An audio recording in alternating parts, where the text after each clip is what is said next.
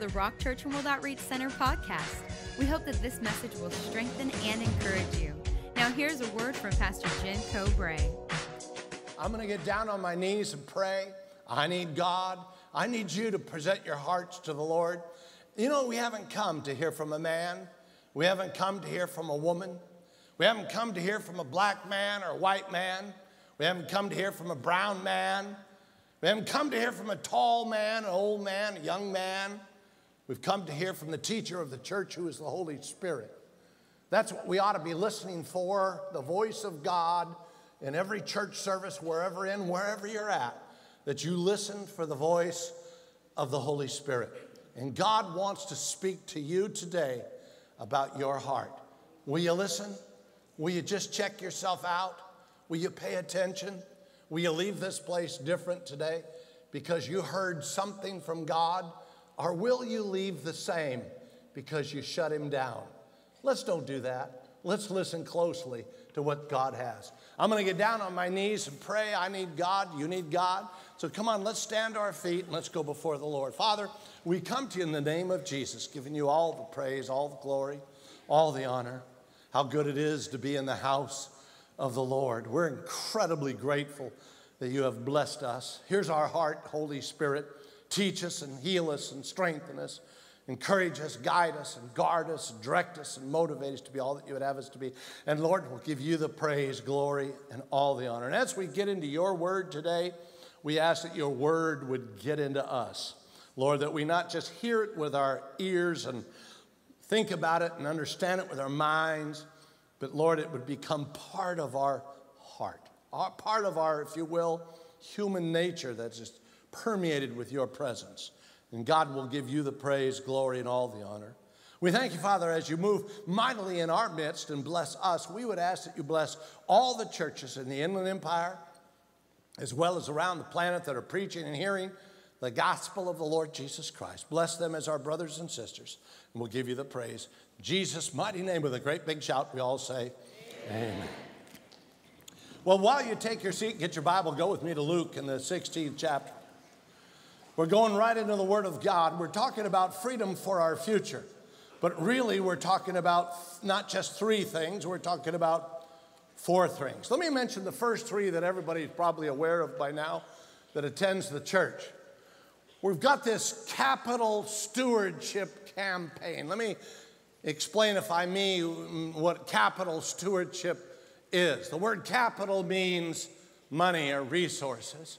Stewardship simply means to manage, the management of what you have that God gives you. It's capital stewardship campaign.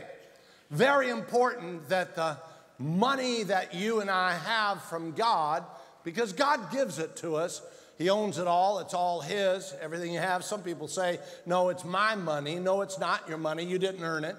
Let me just say this to you God put you in a business. God gets your business, God gets you the job. God gives you the air to breathe, the food to eat, the sleep to have, the rest to have, the health to have. Without God being in there, you wouldn't have anything. It's all God's, and He gives to us, and you have to acknowledge that everything on the planet belongs to the Lord. The proof of that is you were born naked and you're going to leave this place naked. You've heard the old saying many times about there's never a hearse going down the street with a U-Haul behind it and, and they're going to bury it all together. It doesn't work that way. Uh, there's no rich men in the, in the cemetery. They're all the same value. Maybe some may have a little more gold in their teeth, but I doubt they'll get through the mortuary with that. And uh, guess what? There's just no rich men in the, in the cemetery. Everything you have, get a picture of this, everything you'll ever have it's because God gives it to you. It all belongs to Him. The question is whether or not you're going to do the right thing with it because it's all based on something very important. How well you manage will determine the amount we manage. Let me say it again. How well we manage will determine the amount we manage. Now, Freedom for Your Future campaign is very, very important for us. Freedom in three areas. The three areas is number one, we need to pay off this church because we've got a generation ahead of us. We cannot allow this to be a one generation church. Your children and your children's children could be in this pulpit area. Your grandchildren could be in this pulpit area. Are the other churches that the Rock Church is going to start and preaching the gospel of the Lord Jesus Christ. Many of you in here say, wait a minute, I've never had minister in my family line. I've, I've never had a preacher in our family line. Don't know anything about that. I doubt whether my kids will ever follow that. Can I tell you something? I am a first generation preacher. I'm not a second, third, fourth, fifth. I am a first generation preacher. And look what God did with me. If God could do it with me, God could do it with your kids and your kids' kids.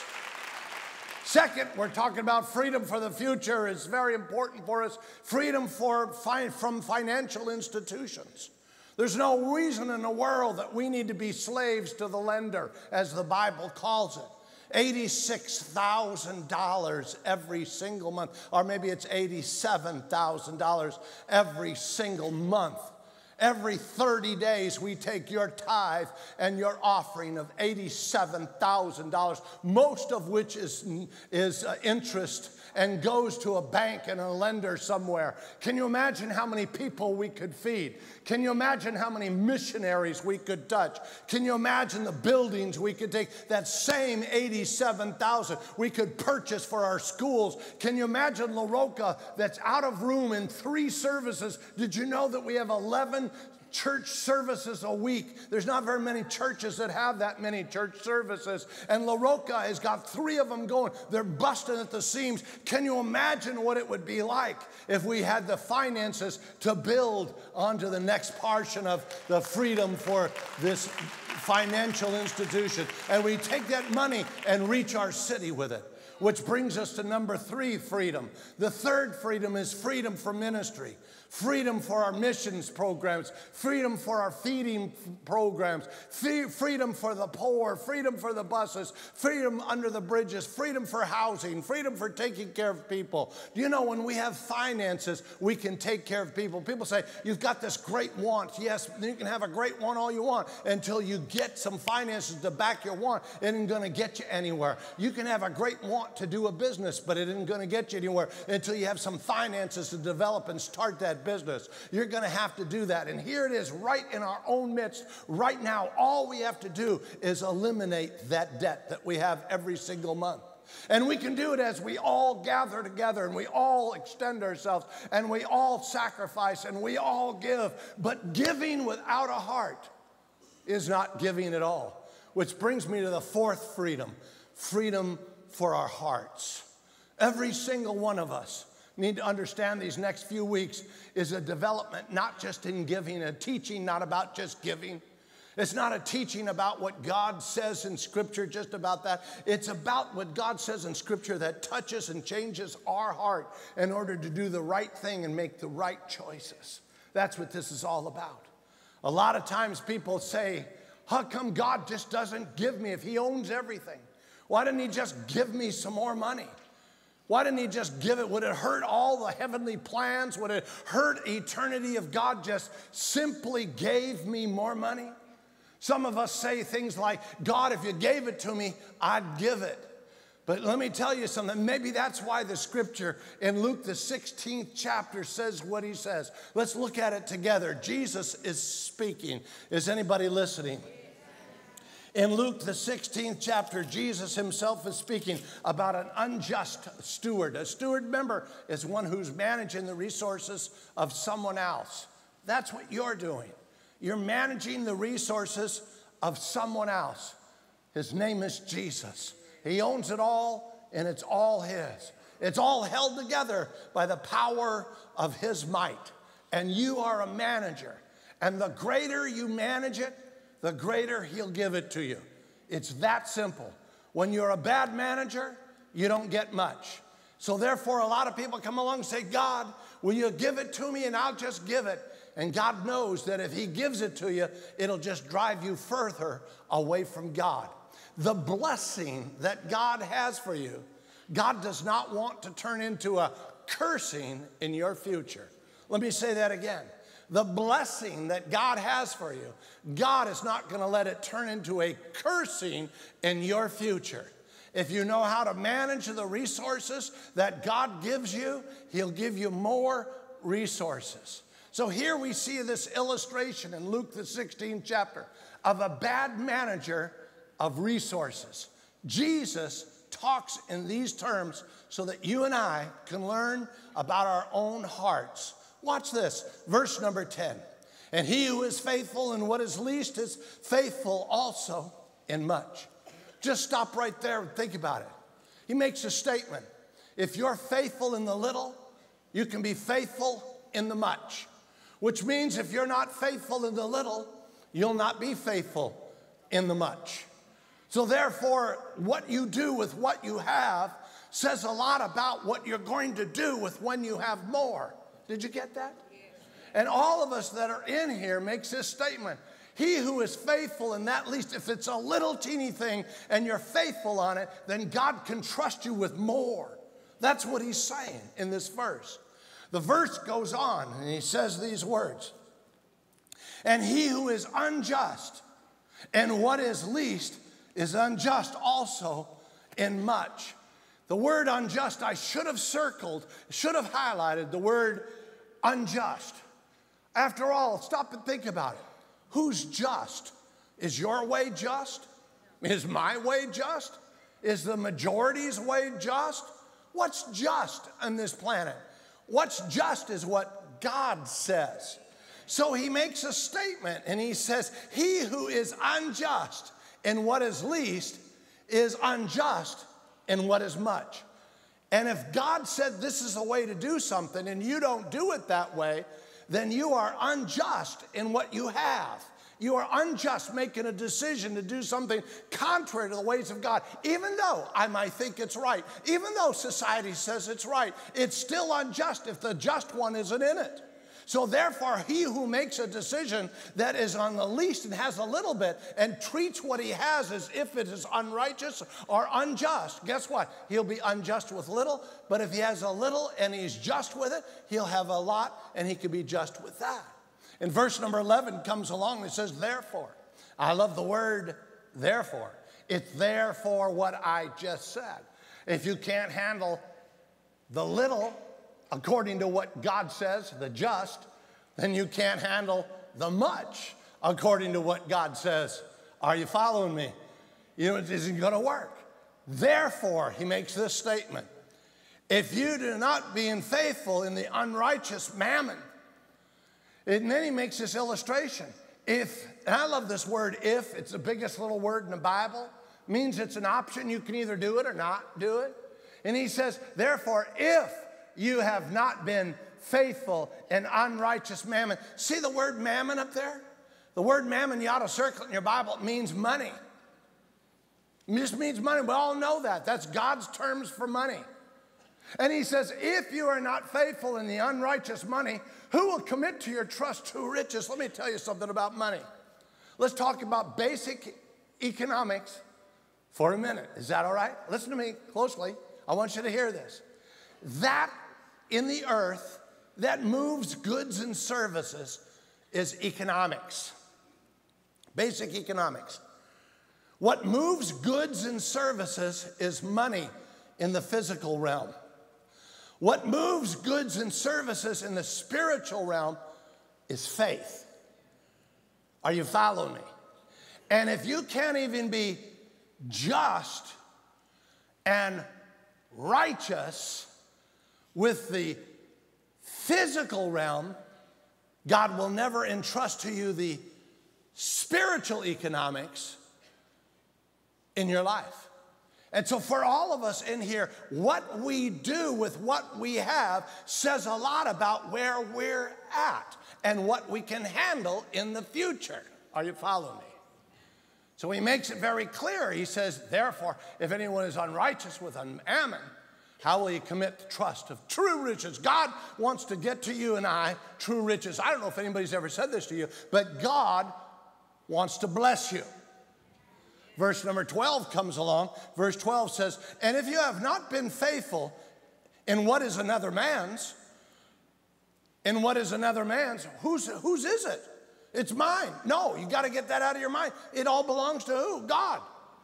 So another man's, yes, is his master here that he's using as an example, but for us, it's Jesus. And he says, if you haven't been faithful to what I give you, then another man's, then he said, who will give you what's your own?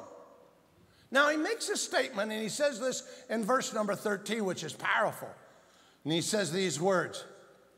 Verse 13 No servant can serve two masters.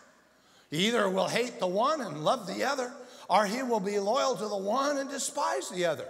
You cannot serve God, and there's that word again mammon. See, mammon, money, that unrighteous position in the physical realm that moves goods and services in basic human economics, is that which is something that should never be all uh, serving, we serve it, but it ought to serve us. And when you become a slave to the money instead of the money becoming a servant of yours, we're in the wrong place. So he makes this statement. He says, You cannot serve God and mammon. He didn't say throw the money away, he didn't say get rid of it. He just said make sure you have the right priorities, make sure you have the right commitment, make sure your heart's in the right place. God wants to bless you. I'll show you that in just a moment. God wants to prosper. Can you imagine someone saying this? God wants to prosper your hand. But in order for it to happen, it's going to happen as you line up with God's ways of doing things. Are you following me? Not your ways of doing things. That's why he says this you can't serve two masters. What's your master? God or money? Therefore, most people that attend American churches, money still masters over their decision making process instead of God. And then what happens is you become the slave to the money instead of the money becoming your servant. And when the money becomes your servant, now God can give back to you even more. Is anybody listening? Because without an understanding of that, we absolutely fall and fail. Now, watch this. It's kind of fascinating. In Luke, the 12th chapter, go there with me. Just go back a couple of chapters in your Bible. Jesus is speaking once again in verse number 30, talking about all those material things that you and I want, material things that we need. You know you need them, you know you want them. It's okay. God's not against giving them to you, He wants to give them to you. But listen to how He's going to give it to you. Is that okay? Watch this, verse number 30. For all these things, the nations of the world seek after, and your Father knows that you have need of these things. So God's not against you having a nice home. God's not against you having a nice car. No, no. God's not against you having, you know, some nice clothes and taking care of your kids, put tennis shoes on your children's feet. God's not even against you having a retirement program or having a plan in life that's economically strong for you. God's not against them. God knows, in fact, according to that verse, He knows the things that you're going to need. Why? Because He knows the outcome of this whole entire planet. But notice what it says, verse number 31. But seek the kingdom of God, and these things shall be added unto you. I like uh, Matthew 6 33, same verse, but it says, Seek first the kingdom of God, and all of these will be added onto you. Seek first the kingdom of God and his righteousness, and all of this will be added onto you. So God says, here's the way it works. You got to seek me first, put me first, put it in first, God's ways. That's that just way of doing things, not the unjust way of doing things. And I will see that these things will get to you. That's a powerful promise from God. Now, watch this. And then he comes along and he says, Do not fear little flock. Right after he says that, he says, God knows what you need. And if you'll seek God first and his righteousness, God will add these things that you need onto your life. So God's not against blessing you. And then the very next verse, he says, Fear not. You know what? When you seek God, oftentimes it's contrary to your human thinking, it's contrary to your human feelings, it's contrary to your basic understanding of economics. Money moves goods and services. And it does on this earth, but you want to move past the earthly realm into the heavenly realm where faith moves the goods and services of heaven. I need the windows of heaven to open up and pour me out a blessing. I need God to protect my job. I need God to open up the doors. I need God to close the doors. I need God to make it work. And I, in order for that to all happen, I need my $10 to spend like a 100. I need my 100 to spend like a 1,000. In order for that to happen, I'm going to have have to get out of the natural economics and get into what moves faith, uh, uh, goods and services, but faith. And that's so wonderful to see. So he says, Don't fear, little flock, for your father's good pleasures to give you. And then he makes a statement. Did you notice how God doesn't want to just give you clothes and tennis shoes and cars and houses? I mean, that's cool. We'd probably settle for that, but that's not what God wants to give you. God says, I want to give you the kingdom. Now, if you were to place a value on something, let's think about it for a moment. Which do you think has more value? Tennis shoes, clothes, house, or the kingdom of God? So God says, I want to give you, it's my good pleasure, good pleasure, to give you something that's greater than you can ever imagine, greater than any wealth you can ever calculate greater than all the wealth that the earth has. I don't want to just give you the material stuff. I don't want to just give you the clothes and tennis shoes and the car, but I want to give you the kingdom of God. My goodness, and it's my good pleasure, God says, as He gives, but you can't fear. Very next verse comes out, if you will, in verse number 33, and He says, Sell what you have and give alms. Very first thing He says, Now have a heart to do this, but don't be afraid. He says, Provide for yourself bags which will not grow old, treasures in heaven that does not fail, where no thief approaches nor moths destroy. But then he goes on and says these words, last words For where your treasure is, there your heart will be also. Now here's the question Where your treasure is, there your heart will be also. In other words, Whatever it is that you consider of great value is what you have your heart set on. Great value could be the way you live right now. Great value could be your material things that you're living in right now. Great value could be, you know, what we think and society and social systems that we live in. But whatever you place a great value in, your heart's going to be on it.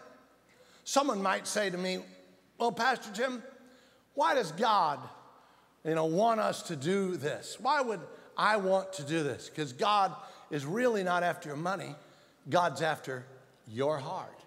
Are you following me? Because where your heart is, is where your treasure is. And that's where the strings, and God knows that there's the strings of our heart oftentimes attached to worldly things more than to the things of the Lord. Is any at all listening to the word of God? Where your treasure is. And that's what we need to examine all the time. So here's life. We oftentimes say to God, God, here I am. Here's what I want you to do, Lord. I want you to give me the finances, and then I'll give them back to you. Do you know that doesn't work? Here's how it works with God Remember, the formula is completely different. I've used this little formula numerous times. You may have heard it from me before. Here's the formula You cannot sit before a fireplace on a cold, wintry day and say, Give me heat, and then I'll put the wood in. It doesn't work. If you want the heat from the fireplace, the formula is don't sit in front of the fireplace and say, Give me heat, I'll put the wood in. You're gonna have to put the wood in. But did you know that putting the wood in doesn't make the fire?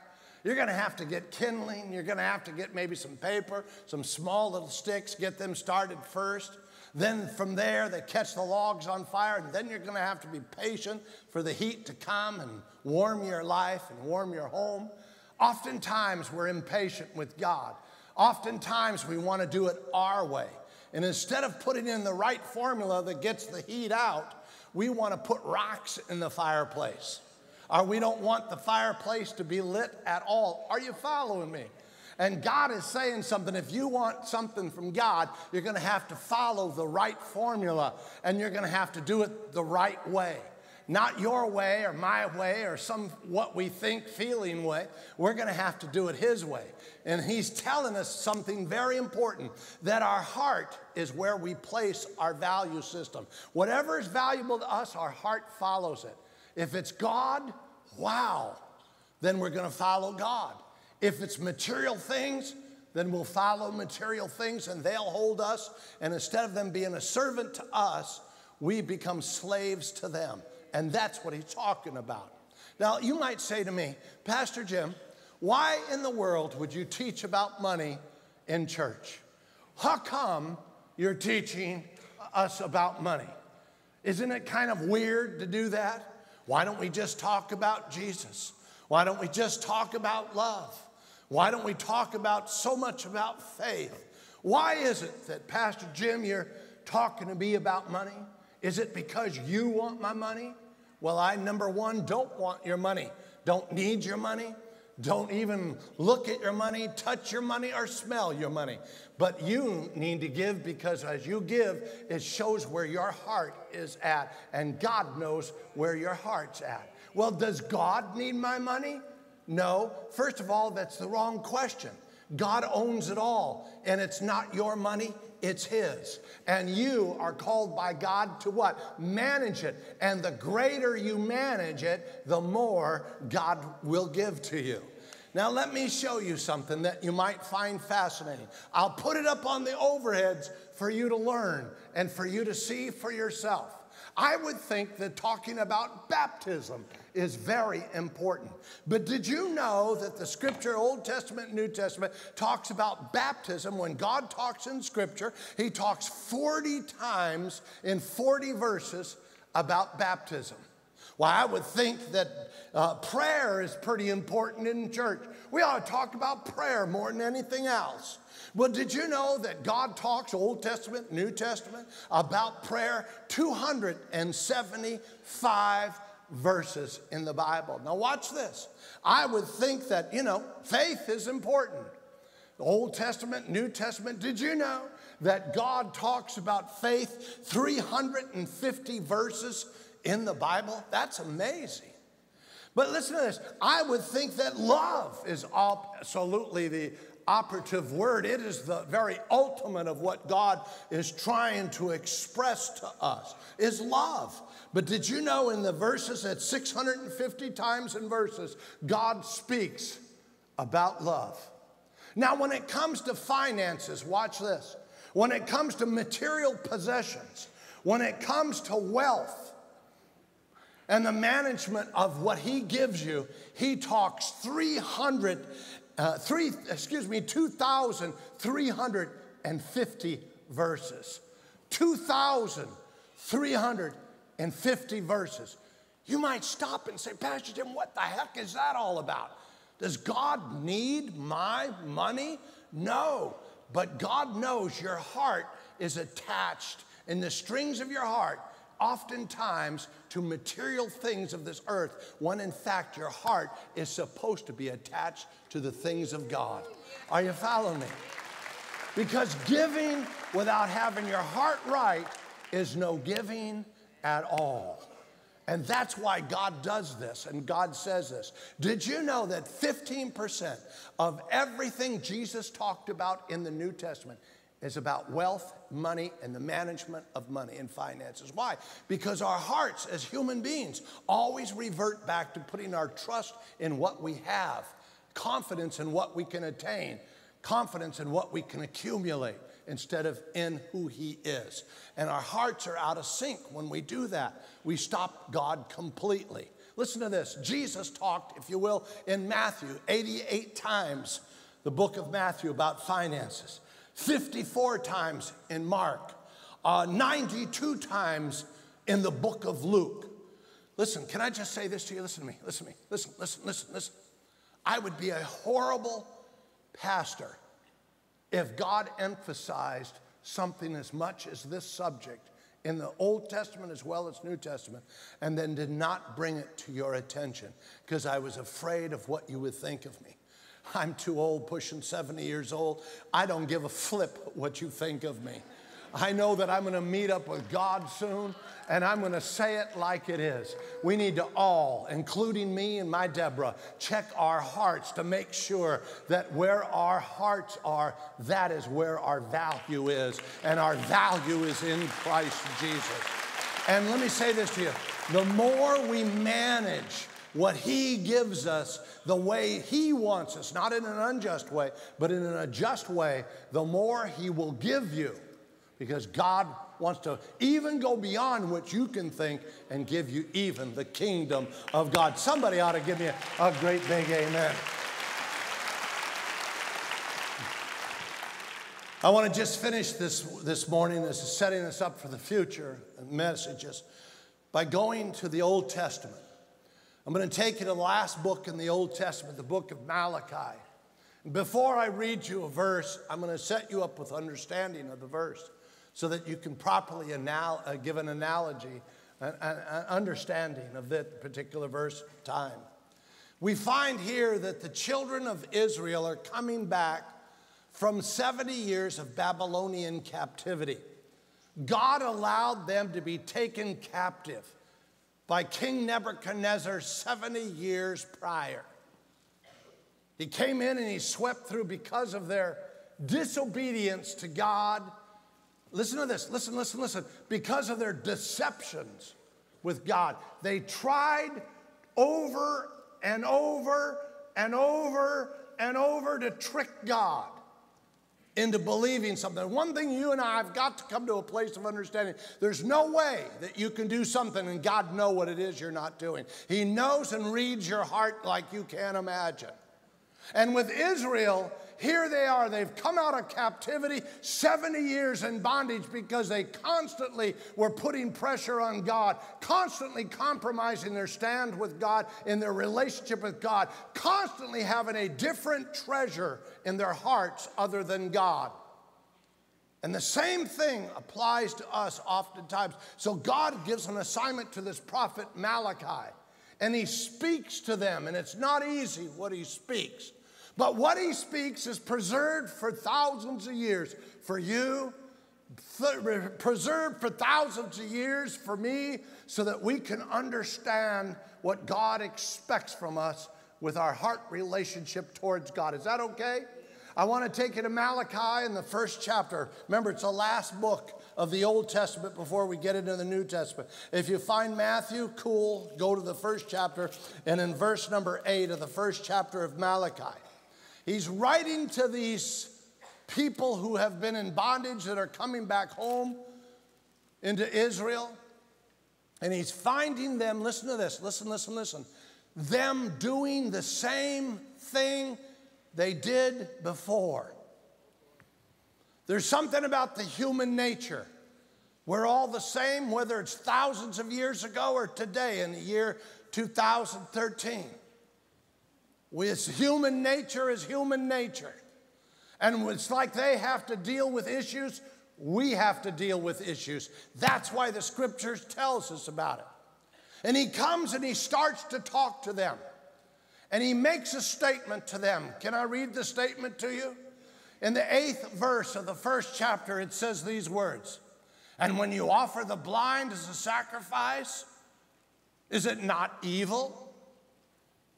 And when you offer the lame and the sick as a sacrifice, is it not evil? Stop right there. Look back. At, I mean, let me set the stage for you what they're doing.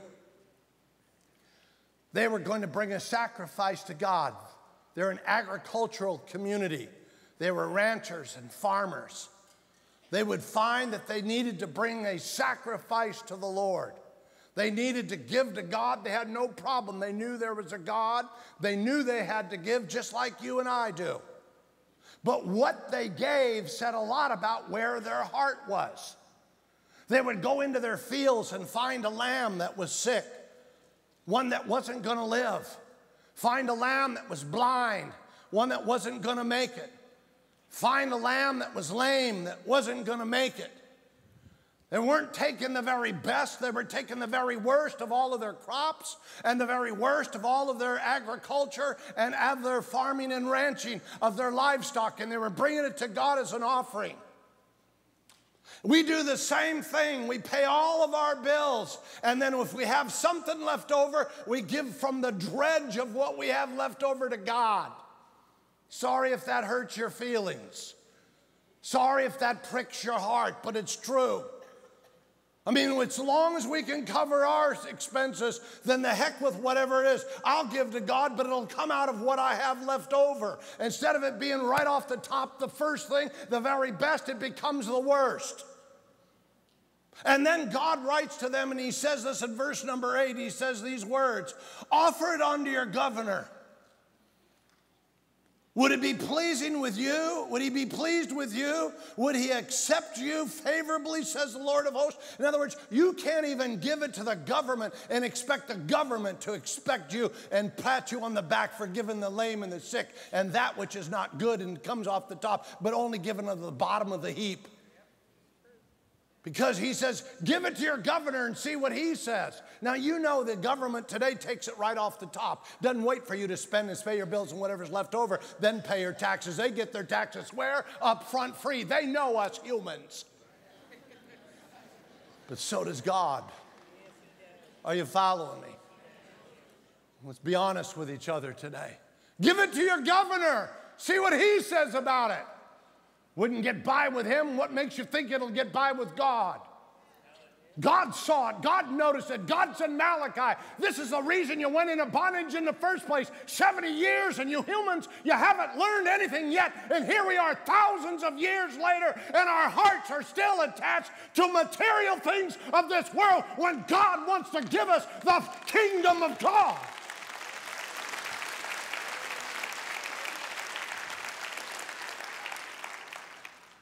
I love what it says in the, if you will, go with me, the Malachi, the verse 14.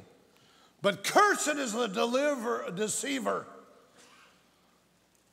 But cursed be the deceiver who has in his flocks a male, meaning a healthy ability to give, and takes a vow, I'll give it, but sacrifice to the Lord what is blemished bottom of the totem pole goes to God.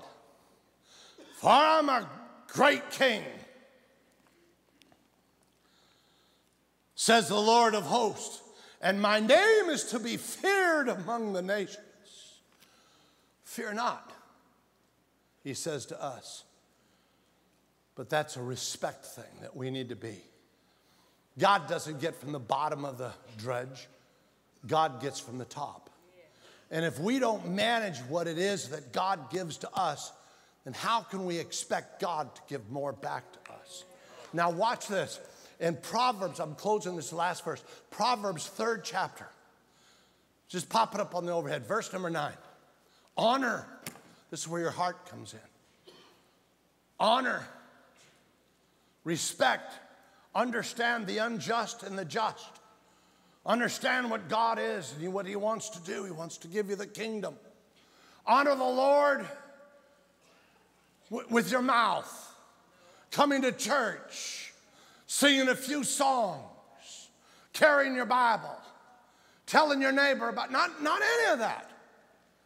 I mean, the bottom line, God knows that oftentimes, and more times than not, our hearts are still attached to material things. And may I say, we can be outward going great Christians preaching the gospel, but when it comes to our money, don't touch it, preacher. Honor the Lord with your possessions and with the first fruit, not off the bottom. Because guess what? I promise you, if you give to God from the bottom or somewhere along the line, He'll wear out your money so much there'll be nothing to give. So you start right off the bat, this goes to God, and then whatever you got left, 90% God, here's how it works, that you're responsible for. And then He takes the 90% because you're obedient and makes it spend like 120 so you get to go play at Disneyland. That's the way it works. Honor the Lord with your possessions and with the first fruit of all of your increase. Verse 10 What for? So that your barns will be filled with plenty. See, God doesn't want to hold it back. And your vats overflow with new wine. Now remember, this is an agricultural community. They didn't have money going back and forth like you and I. They traded goods. And a guy that had a barn full of vats of wine was like Bill Gates. A guy that had, if you will, uh, barns filled with plenty is like Bill Gates.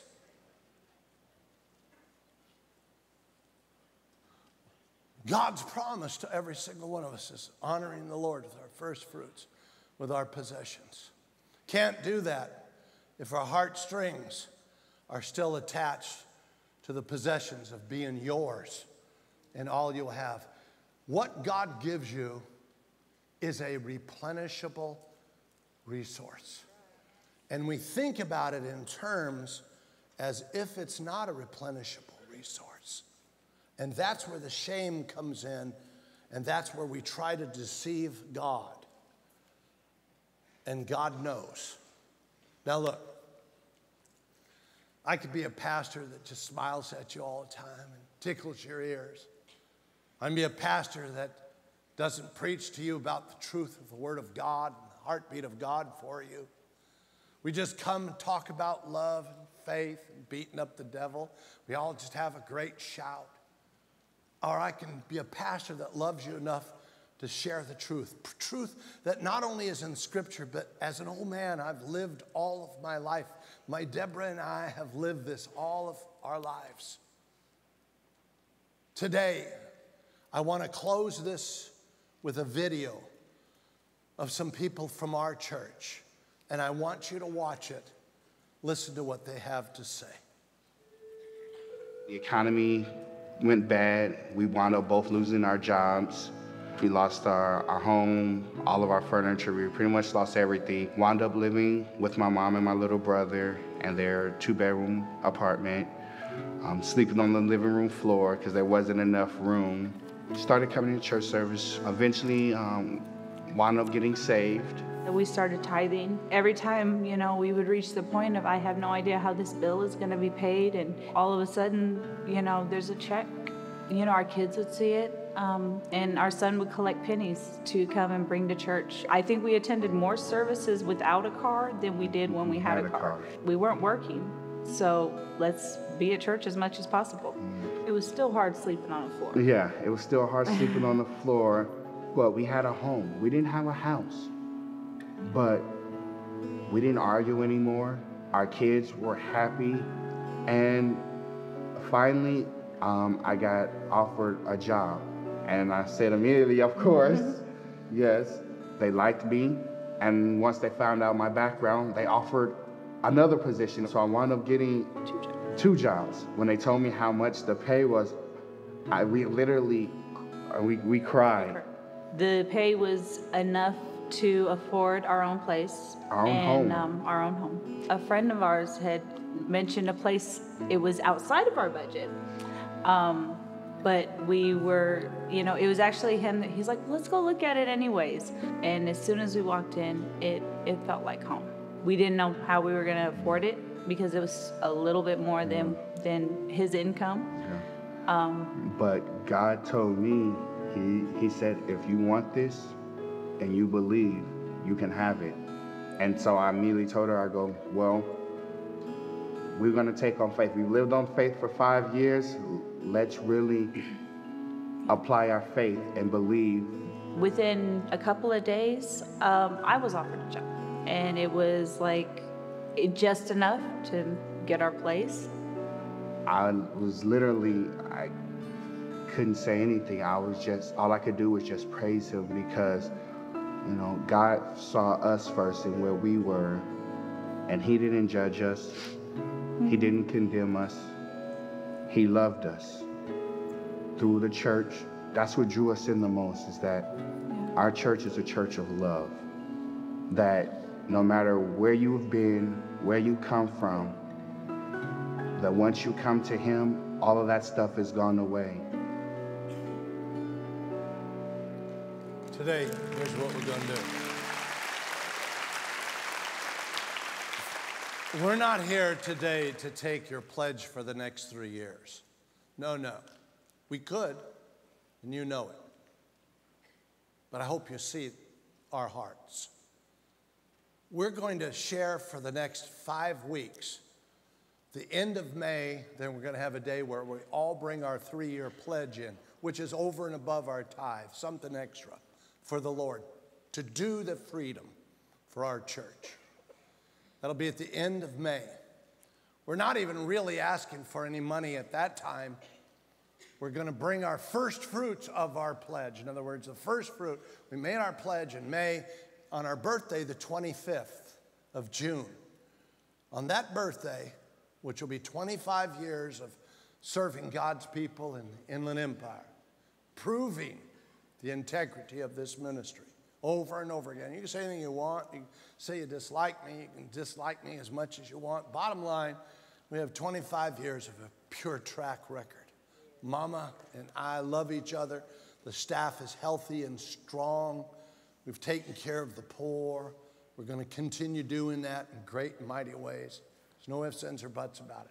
Then we're going to bring our first fruit in in June. In other words, the first part of whatever we can in the end of June, our 25th. We're going to celebrate that night with the biggest party you ever saw in the courtyard with dancing and music and fun and excitement and live and, of course, food. Somebody give me an amen. and so we're going to have a great time as God does something great. Real quick, I'm going to ask you to just to remain seated for a second. I'm literally going to let you go in a different manner today than normal. I'm going to ask Pastor Joel if he'll come and stand in front of me right here. Listen to what I'm going to say to you. It'd be a real tragedy for you to come and hear the Word of God, and you were great listening to the Word of God today, and then walk out of this place, die, and go to hell. You don't have to do that. Today, you get right with God. Listen to me. Today is your day of salvation. God brought you here not to just hear a message about your heart, message about finances. God brought you here to give your heart to the Lord, be born again, headed for heaven, and denying your presence in hell. You do not get to heaven because you're a good person. You do not get to heaven because you're a nice person. You do not get to heaven because you're hoping you're going to make it. You do not get to heaven because you call yourself a Christian. You do not get to heaven because you know who Jesus is. Even the devil knows who Jesus is, and that doesn't make you a Christian. In order for you to get to heaven, the Bible says you must be born again.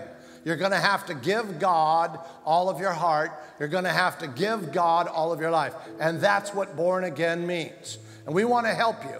Pastor Joel and his team will be on the right side, your left side, right over there, and they'll be waiting for you to get out of your seat, walk forward, and pray a simple prayer to receive Jesus Christ as your Lord and Savior. And then he'll give you some free stuff, free information to take home and read about what to do next. It's as simple as that.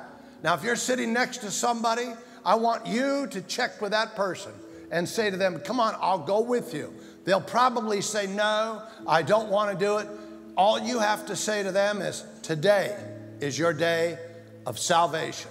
Don't walk out of this place being the same when a simple, simple thing like walking forward after everybody's dismissed, you can get right with God by giving God all of your heart, giving God all of your life. Are you hearing me? And inviting Jesus into your heart. You got to invite him to come in. He won't come in because you, he's nice to you or friendly to you. He, he, he went to the cross and died for you. Guess what? So that you can invite him into your heart. It's your heart and your life. Don't leave this place without it. Are you hearing me? Are you hearing me? Are you hearing me? Listen, you need to come and give Jesus all of your heart and all of your life. You need to stop messing with God, and they'll pray with you and give you some free information. Couldn't get easier, couldn't get better. Remember, what you do says a lot about who you are and where your heart's at.